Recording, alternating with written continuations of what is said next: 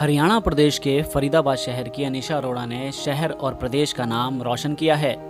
4 अगस्त को दिल्ली में आयोजित फेस आइकॉन 2019 के खिताब से अनिशा अरोड़ा को सम्मानित किया गया है। आपको बता दें, अनिशा अरोड़ा प्रोफेशनली एक सिंगर हैं, लेकिन उनकी खूबसूरती को लेकर किसी ने एक बार कमेंट किया कि आप मॉडलिंग में क्यों नहीं ट्राई करते? इसको लेकर अनिशा अरोड़ा ने अपना हाथ मॉडलिंग की दुनिया में आजमाया। और पहली बार में ही फेस आइकॉन 2019 का खिताब जीतने में वह कामयाब रही। इसी बात का श्रेय उन्होंने अपने मेंटोर गुरु चंदन मेहता जी को दिया।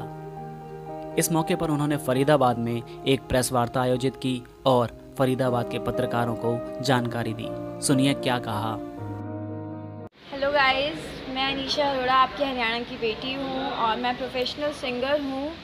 और जैसे कि अभी अभी अभी मैं 2019 की फेस आइकन बनी हूँ। मुझे बहुत खुशी है। आप लोग मुझे बहुत सपोर्ट करते हैं और मैं आपकी हरियाणा की ही बेटी हूँ।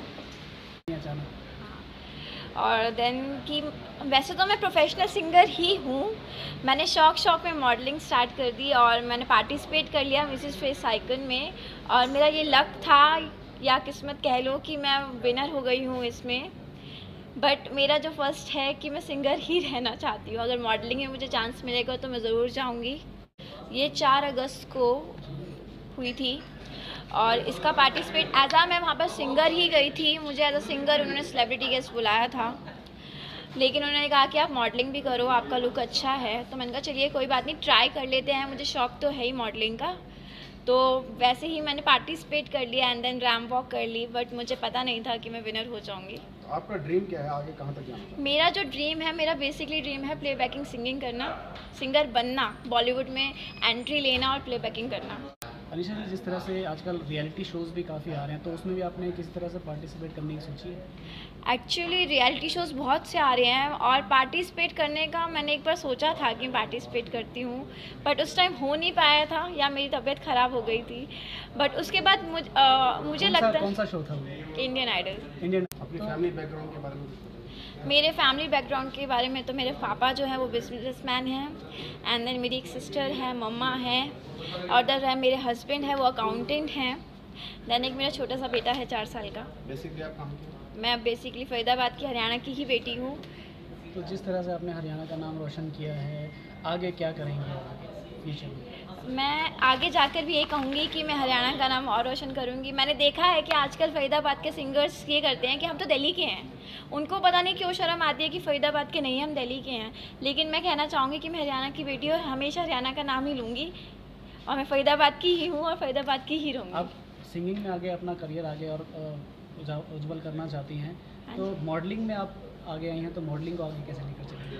अगर मुझे मॉडलिंग में चांस मिलेगा तो मैं ज़रूर करना चाहूँगी। मैं मल्टी टैलेंटेड बनना चाहती हूँ। मुझे शौक है। I am a choreograph also मैं डांस भी कोरियोग्राफ करती हूँ। मैं डांस टीचर भी रह चुकी हूँ। तो मेरा मन है कि मैं सिंगिंग डांसिंग एक्टिंग और मॉडलिंग में इन चारों में अपना कुछ ना कुछ नाम रोशन कर दूँ। तो जिस तरह से आपने प्रेस वार्ता के दौरान भी एक अपना गाना गाकर सुनाया कुछ और कोई नगमा सुनाना चाहेंगे?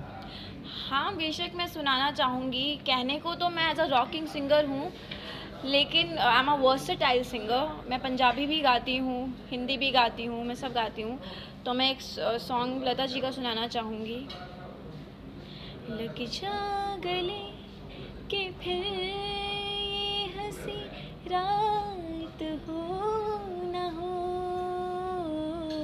शायद फिर इस जन्म में मुलाकात हो न हो। लग जा गले से से हमको मिली है आज ये घड़ियाँ नसीब से। जी भर